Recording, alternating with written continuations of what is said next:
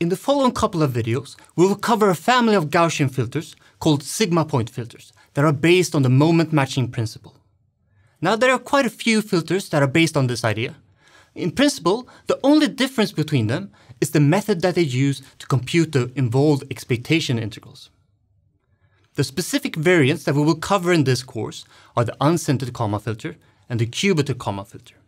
Now in this video, we will look at how we can explain this family of filters using the moment matching principle. Now, in this course, we mainly consider models of the following type. That is, both the motion model function and the measurement model function are possibly nonlinear functions, but the noise components are additive and Gaussian. Now, it's straightforward to generalize these methods that we're about to study to non-additive Gaussian noise, but we'll not cover that here. In many cases, we will also drop the time indices of f and h, but that's just for notational convenience. As mentioned in the previous video, the idea in Gaussian filtering is to perform filtering using the conventional prediction and update step, but where we approximate the predicted and updated density as Gaussian densities, like this. This means that filtering boils down to finding these four moments. So we need to find the mean and covariance of the predicted density and the mean and covariance of the updated density. So the problem that we are facing is how can we choose these moments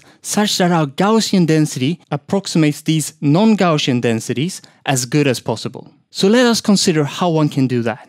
Suppose for instance that we are given a non-Gaussian density p of x now, p of x could, for instance, look something like this, if x is scalar. Our task is to find x hat and p such that p of x is approximately Gaussian with mean x hat and covariance p.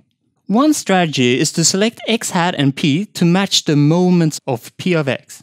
We call this strategy the moment matching principle. So we ensure that x hat is the mean of p of x and that capital P is the covariance of P of x, which can be expressed like this. So x hat is this integral here, so integral of x times P of x dx, and capital P is this integral here, where we have x minus x hat times x minus x hat transpose times P of x dx. Now note that we can view this covariance here as an expected value, where we take the expected value of this function here. So in order to do moment matching, we basically need to calculate these two expected values, which are expressed by these two integrals here. For the example that we looked at up here, the mean of the Gaussian would be in the middle here. So the bell-shaped Gaussian approximation would look roughly something like this. So this would be our Gaussian approximation of p of x. Now, if you think that the moment matching principle seems a bit arbitrary, there is a theoretical argument in favor of the principle. Namely, one can show that moment matching minimizes the Kullback-Leibler divergence. Now, if you're not familiar with the Kullback-Leibler divergence, you don't need to learn it for this course. In this case, it's something that tells us how similar p of x is to our Gaussian approximation. So, a small Kullback-Leibler divergence means that the approximation is good and a large Kullback-Leibler divergence means that this is not such a good approximation.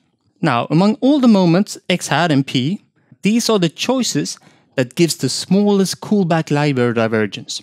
Let us see how we can make use of the moment matching principle to perform the prediction in the prediction step. We assume that we are given the updated posterior distribution at time k minus 1, and in the Gaussian filtering case, we assume that this is a Gaussian. Further, as we pointed out before, we assume that the motion model is a nonlinear function of the state plus some Gaussian noise. To compute the Gaussian approximation to the predicted density, we simply compute the first two moments of the random variable xk given y1 to k minus 1. So these are the mean x hat k given k minus 1, which is the expected value of this. To calculate this expected value, we need to solve the integral of f xk minus 1 times our Gaussian prior, the xk minus 1. And that is because qk minus 1 is zero mean. So it does not contribute to this expected value here. Similarly, to compute the covariance of the predicted distribution, we take the covariance of xk given y1 to k minus 1. Now we can separate this into the covariance of qk minus 1 plus the covariance of f of xk minus 1. So the covariance of qk minus 1 is just capital Qk minus 1 and the covariance of f of xk minus 1 is this integral here, where we take the integral of f of xk minus 1 minus the predicted mean times the same thing again, transposed, times this Gaussian density again.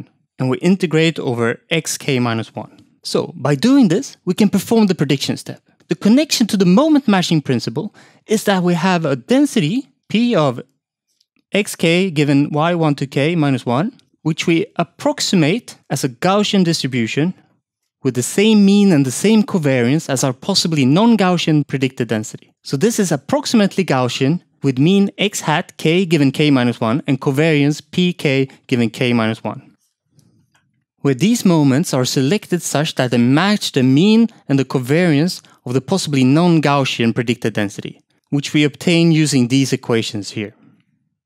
Another thing that I would like you to notice is that both these integrals have a similar form, and that is that we have a function times a Gaussian that we take the integral of, and here we have a function times a Gaussian that we take the integral of. As we will see later, all the integrals we need to solve can be written on this form, now this will come in handy when we want to find good approximations of these integrals. To perform the update step using moment matching, it's just a bit more complicated. We are now given a Gaussian approximation to the predicted density, and we have a measurement model with a nonlinear function of our state plus some additive Gaussian noise. The ideal solution, according to the moment matching principle, is to set x hat k given k and pk given k to the first two moments of the posterior density, so density of xk given measurements up to time k. Unfortunately, it turns out that it's difficult to compute the first two moments of this distribution in an efficient manner. Now, that doesn't mean that there are no methods that do that, but it's just that they are less efficient. An alternative strategy is to perform moment matching on the joint distribution of xk and yk.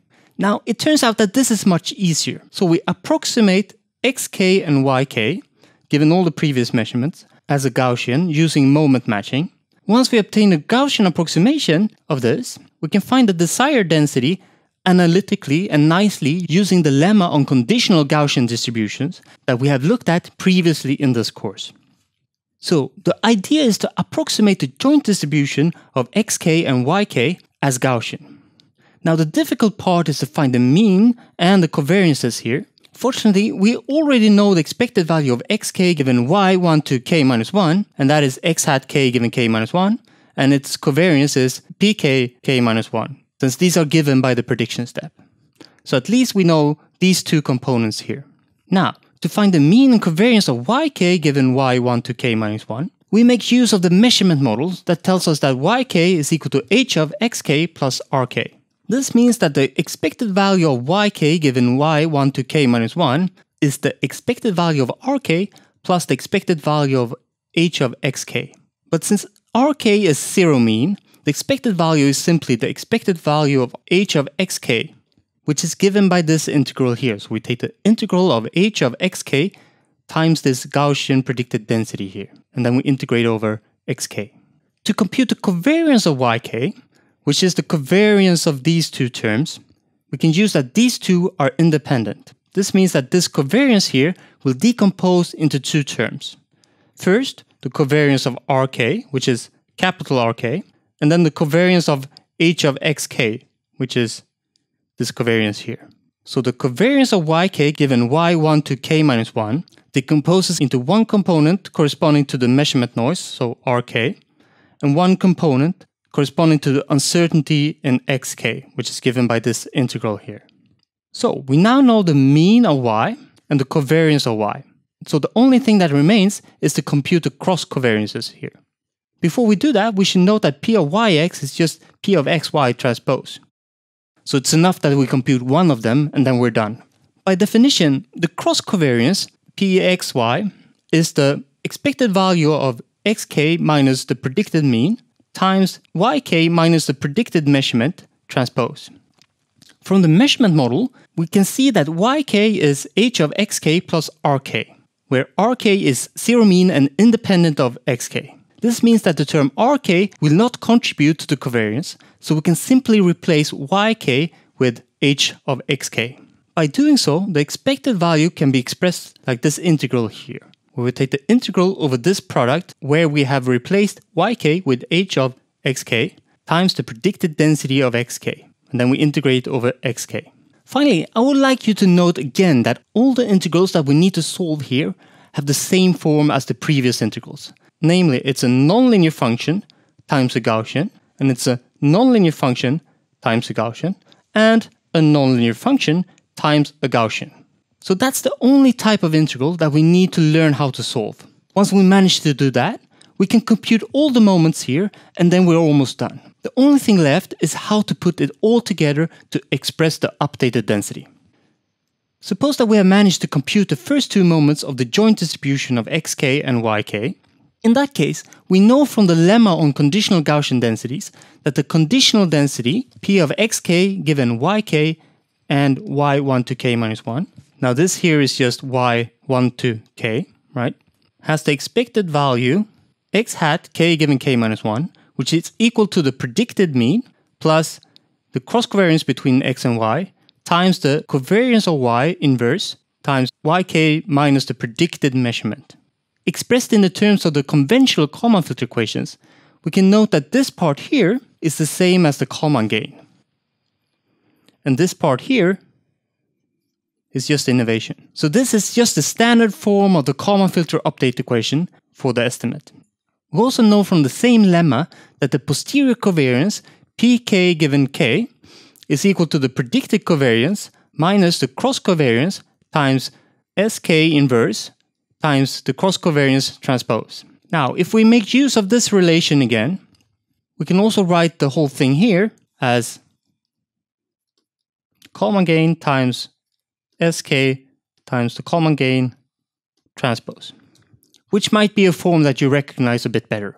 As we can see here, the update equations look pretty much like the update equations in a conventional Kalman filter. However, there is an important difference, and that is that all the components here, so y hat k given k minus 1, sk, and pxy, all need to be approximated. In order to find these components, we need to solve integrals on the following form. So the integral of some nonlinear function of x times the Gaussian density of x dx. And we will therefore dedicate the next video on techniques of how to solve these integrals.